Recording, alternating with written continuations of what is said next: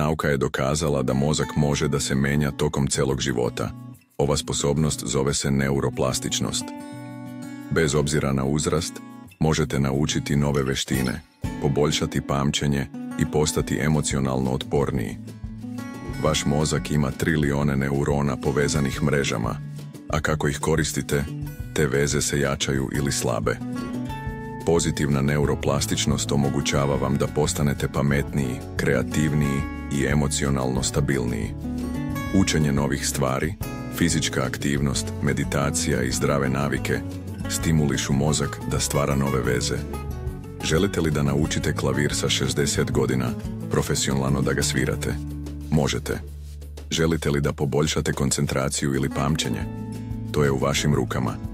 Ali oprez, postoji i negativna neuroplastičnost.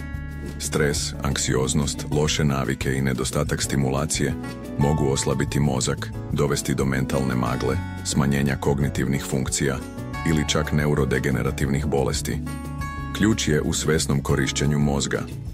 Kako da podržite svoj mozak? Učite nešto novo, klavir, jezik, crtanje. Vežbajte. Fizička aktivnost stimuliše rast neurona. Borite se protiv stresa, meditacija, duboko disanje.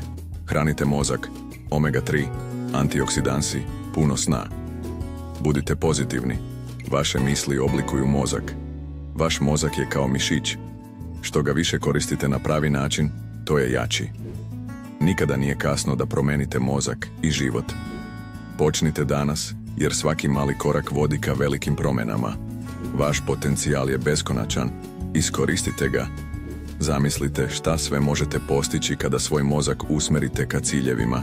Budite uporni, budite svesni i nikada ne prestajte da verujete u sebe.